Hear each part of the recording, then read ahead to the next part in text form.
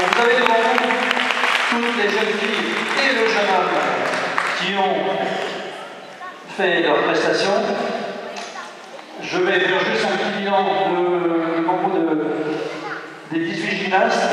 Il y a une personne qu'on n'avait pas vu au début aussi, c'est Inès, qui a été blessée sur les trois complices. Elle rage, et c'est comme ça. On espère qu'elle va pouvoir se rattraper sur la partie ensemble.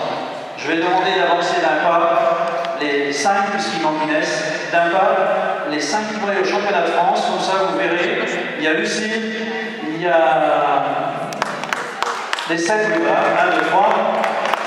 Lucille, Coraline, Élise, Océane,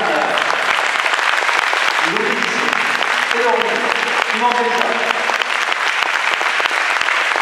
On leur souhaite bonne chance et on les applaudit très fort. Bravo les filles et bravo à tout le monde. Alors, j'ai petit discours à vous faire. Alors, installez-vous, a